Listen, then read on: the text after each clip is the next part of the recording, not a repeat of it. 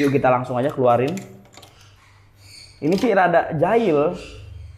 Tuh, tuh, tuh, tuh. Oke guys, ini tuh kendalanya adalah burungnya kurus guys, alias nyilet. Tapi sini kurus banget guys. Tuh. Kira-kira saya mampu nggak ya giveawayin burung kayak gini nih buat teman-teman?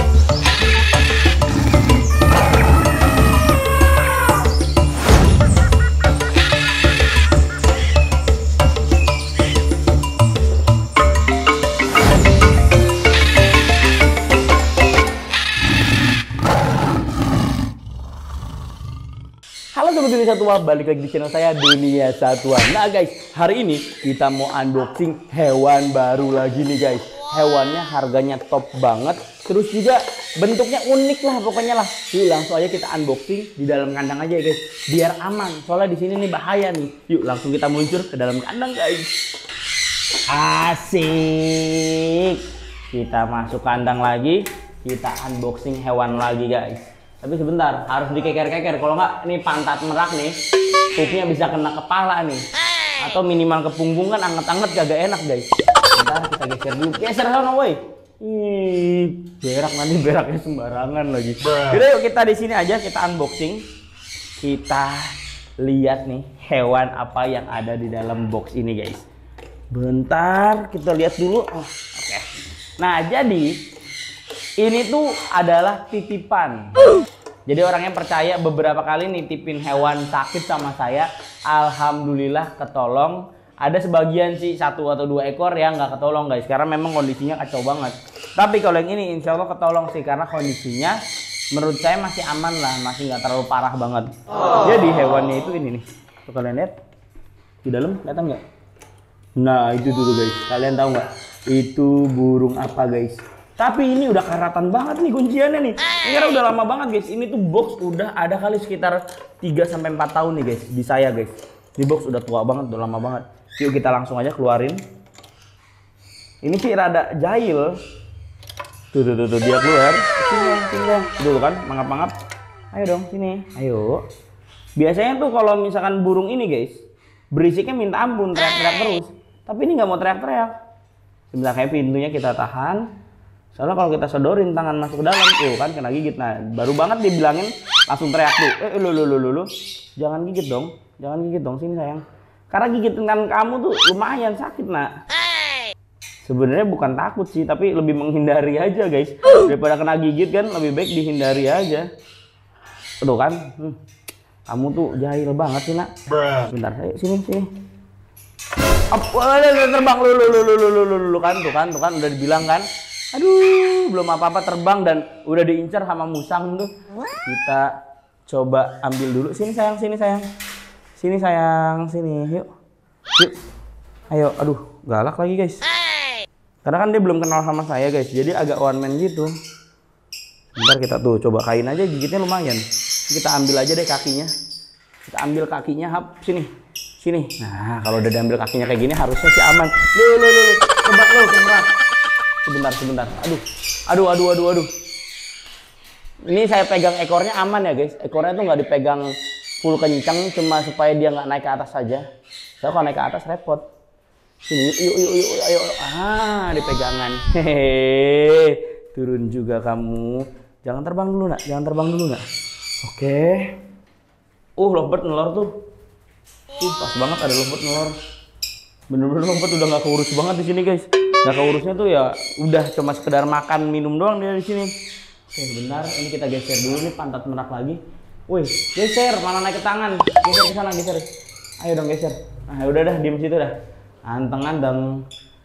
Sebentar, aduh susah guys tangannya. Oke, kita langsung review aja nih guys. Hewan yang baru kita unboxing. Uh, dia ngepak-ngepak. Cuma guys, sebenarnya ini burung tenaganya udah mulai agak berkurang guys karena kendalanya adalah kurus. Nah tadi itu saya tanya ke teman-teman, kira-kira ada yang tahu nggak guys? Ini jenis burung apa guys? Yap bener banget buat kalian yang udah jawab ini adalah Patagonian, Patagonian conur guys tuh. Jadi Patagonian itu banyak ya, ada Patagonian marah, terus ada Patagonian conur. Dah burungnya ini cantik kalau misalnya Patagonian marah tuh bukannya burung ya, itu mamalia guys.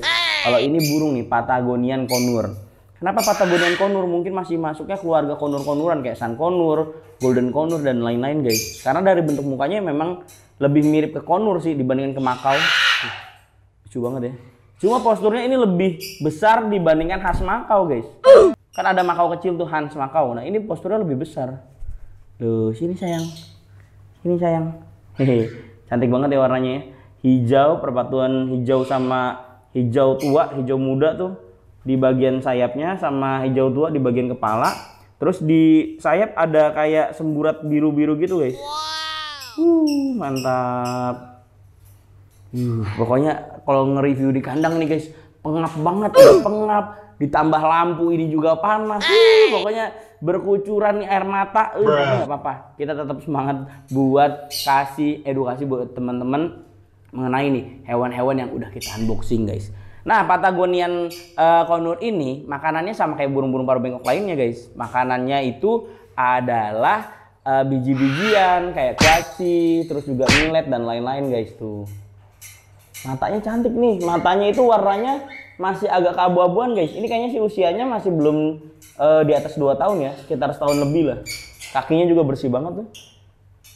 Kakinya bersih banget, warnanya putih dengan kuku berwarna hitam Nah kalau misalnya Patagonian Conur ini dia usia muda ataupun tua dinilai dari paruhnya guys. Jadi kalau misalnya muda itu paruhnya warnanya putih, tapi kalau misalnya udah tua paruhnya ini warnanya hitam tuh. Cantik banget emang warnanya tuh bener-bener gagah banget, bener-bener mewah banget nih guys burung. Kalau bentuk sih lebih besar dibandingin Golden Conur kalau menurut saya. Kalau misalnya Golden Conur kan dia pendek, agak pendek, terus juga uh, bodinya lebih gempal. Tapi kalau misalnya Patagonian Conur ini dia bodinya panjang guys. Ketolong panjangnya itu karena ekornya juga panjang tuh. Mirip kayak Sever Makau atau uh, Iliger Makau. Lebih mirip ke situ. Cuma kalau misalnya Sever atau Iliger kan ada corak bulu di bagian pipi. Kalau dia enggak guys tuh. Full bulu semua guys tapi tatapan matanya sih yang keren banget, kayak tajam banget gitu guys. Nah ini burung ngap-ngapan nih. Burung aja kepanasan kan, apalagi saya di sini. Uh, di sini tuh mantap. Tapi kalau misalnya buat apa ya daya, daya tahan tubuh ya burung di sini enak guys. Kalau misalnya musim hujan tetap anget, enak. Cuma kalau misal musim panas, di sini panas banget. Akhirnya semua ventilasi dibuka, guys. Karena misalnya kalau kepanasan, kasihan juga sih si burungnya ngap-ngapan. Oke, okay, guys. Ini tuh kendalanya adalah burungnya kurus, guys. Alias nyilet. Jadi si bagian dadanya nih kalian lihat agak ramping. Tapi sini kurus banget, guys. Tuh. Tuh bagian dadanya ini kepegang. Karena ini burungnya panikan sih. Jadi tadinya mau saya pakai kain saya rejeng saya pegang saya lihat dadanya. Cuma karena ini panikan jadi kayaknya kita nggak pegang kayak gitu. Takutnya dia malah trauma. Cuma kalau dari tenaga kelihatannya tenaganya udah lemes gitu guys. Oh. dia pup berapa kali tuh? Tuh dia pup. Tandanya dia agak stres. Tapi nggak apa-apa. Kamu panik ya? Udah Jina oh. tadi kamu ini burung kalau gigit sakit banget guys. Yang namanya burung paruh bengkok semua gigitannya kayaknya nggak ada yang nggak sakit. Cuma kalau menurut saya jenis konur-konuran itu gigitannya tuh spesial, enak banget. Hei cantik, hei. Ini si burung kayaknya belum DNA sexing guys, jadi belum tahu jantan atau betinanya. Nah untuk si Patagonian konur ini, buat uh, tahu jantan atau betinanya itu wajib di DNA sexing. Karena kalau nggak DNA sexing, setahu saya jantan sama betinanya untuk ciri fisiknya hampir sama semua dan masih jarang banget yang bisa ternak si Patagonian Conur. Rata-rata orang-orang tuh beli Patagonian Conur dari liar guys. Dari liar dan bisa buat FF. Segitu pinternya tuh si Patagonian Conur. Dan buat teman-teman yang uh, mau FF urban, uh, urban itu biasanya kayak di ganggang atau di tempat-tempat ekstrim. Ini nih cocok banget nih si Patagonian Conur ini. Dia wah keren banget terbangnya itu manuvernya asik. Terus bisa kayak helikopter dia terbangnya bisa apa landingnya bisa kayak turun langsung gitu. Uh, vertikal dia bisa. Tapi kan kalau misalnya burung-burung lain dia uh, buat landing harus muter. Kalau si Patagonian Conur ini enggak. Ini langsung bisa vertikal. Landingnya keren banget pokoknya. Tuh pakannya nggak ada tenaga guys tuh. Kurang bertenaga. Harusnya kalau misalnya kayak gini tuh udah terbang-terbang terus. Ini tadi pup tuh. Pup lagi. Tuh, pup lagi. Panik banget ya halo sayang ya Pupinya sih bagus, mudah-mudahan cepet gemuk, cepet sehat ya. Aduh, sayang banget burung mahal kalau misalnya sampai sakit tuh utamanya ya nggak nggak menutup kemungkinan ya saya ya. Memang utamanya kasih sayang sama hewannya. Tapi lebih utama lagi kalau saya ngelihat harganya guys sayang gitu. Nah itu makanya kalau misalkan saya di sini jujur kenapa jual beli hewan itu mahal dibandingkan harga pasaran. Karena satu saya yakin ketika orangnya beli dengan harga mahal kayak gitu orangnya pasti bertanggung jawab dengan si hewan guys. Karena ada yang dia keluarkan lebih. Dan otomatis dia bertanggung jawab supaya yang dia keluarkan itu tidak rugi. Minimal itu dulu. Baru dia sayang banget. Tapi kalau misalnya udah belinya murah akhirnya ya ah biarin dah dia orang belinya murah gitu kan tapi kalau misalnya belinya mahal pasti deh dipikirin burungnya gimana cara ngerawatnya. Nah baik lagi ya si Patagonian Conur ini setahu saya masih susah banget diternak. Karena katanya ini burung adalah burung yang e, bersarang di tebing-tebing. Entah itu bersarang entah itu banyak makan mineral saya kurang paham juga si Kunti emang sompret banget malam-malam masih teriak guys. Itu tuh kalau misalnya kalian punya kakak tua malam-malam masih teriak kayak gitu. Kunti! Ih emang nyebelin? No dia no. Uh, biang keroknya nyebelin. Jam naik-naik berdiri-berdiri teriak-teriak malam-malam. Biasanya saya omelin kalau misalnya teriak malam-malam. Kunti diam dulu eh emang begitu dah Kunti dah. Ya jadi si Patagonian Condor ini masih susah banget diternak dan ada beberapa yang sudah berhasil, cuma masih kehitung jari guys. Jadi jarang yang jual baby. Sekalinya ada yang jual baby, harganya selangit mahal banget. Tapi kayaknya sekarang jarang nih yang datang apa liaran. Biasanya kalau misalnya datang liaran tuh banyak datang. Sekarang jarang. Nah ini termasuk nih kayaknya burung liaran nih awalnya nih. Cuma ini udah aman banget nih. Udah mau dilus-lus. Tadi sih baru datang dia susah buat dilus-lus. Oh dia pup lagi. Asli deh ini kayak burung stres banget. Sebentar kita lihat duburnya. Dubur sih sehat. Loh kelihatan ya? Duburnya bersih.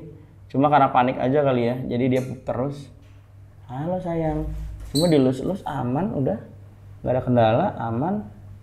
Cuma gigitnya doang nih pasti sakit nih kalau misalnya dia gigit lagi kesel gitu. Kita coba fly to me kali ya mau nggak ya? Karena nih burung katanya burung FF ini. Eh Sini. Hai. Hai. Sini, hai. Eh. Hai. Sini. Saya lupa lagi nanya namanya siapa, hai. Sini, woi. Namanya woi aja dulu dah, woi. Sini sayang. Sini yuk, step up. Yuk, step up. Pintar, ayo, jangan digigit, nak. Oh, dia masih bingung. Oh, mau. Alhamdulillah. Oke, sudah mau step up. Udah mau kenalan, bagus. Kita coba taruh lagi. Siap. Sini sayang. Yuk. Sini. Sini sayang. Hai. Hai, yuk. Ayo biar bisa terbang lagi. Tenaganya biar pulih lagi ya sayang. Ayo, up. Ah. Dia masih celingak-celinguk banget karena ini lingkungan baru buat dia. Ah, mudah-mudahan aja bisa sehat total. Tapi kalau misalnya dia dari apa ya? Uh, raut mukanya segala macem ini burung aman guys cuma kendalanya cuma kurus doang tapi setahu saya Patagonian kalau misalnya kurus pun itu memang bisa cepet disembuhin, uh, bisa digemukin, gampang lah. Ya mudah-mudahan aja nih bisa gemuk. Hehe. Ya, ya burungnya lucu banget sih kamu. Uh, gemesin. Oh. Ini bener-bener warnanya tuh gradasi warnanya asik banget guys. Hijau nih buat teman-teman yang suka burung warnanya hijau full ya ini Patagonian. Hijau kepala lebih tua, ini agak lebih muda, terus di bagian sini agak kebiruan gitu guys. Cantik banget. Cuma di kaki ada merah-merah dikit sama bagian dada tuh agak ada merah-merah dikit. Oke guys, pokoknya saya minta doanya buat si Patagonian Condor ini supaya cepat sehat dan supaya cepat kembali mengudara lagi guys. Dan mudah-mudahan teman-teman juga bisa punya burung selucu ini nih guys. Kira-kira saya mampu nggak ya giveawayin burung kayak gini nih buat teman-teman? Tulis di kolom komentar kira-kira banyak nggak nih yang mau burung kayak gini guys? Tulis di kolom komentar ya. Oke guys, saya udah lepek banget nih guys, udah gerah banget di sini. Ampun dan di ruangan dah. Pokoknya jangan lupa di like dan share kalau misalkan kalian suka konten ini dan wajib banget kalian subscribe channel Satwa supaya kita lebih semangat membuat konten-konten lebih seru dan informatif tentunya buat teman-teman semua di rumah. Saya sama si burung Patagonian Gondor ini mohon pamit sampai jumpa di konten berikutnya. Bye bye.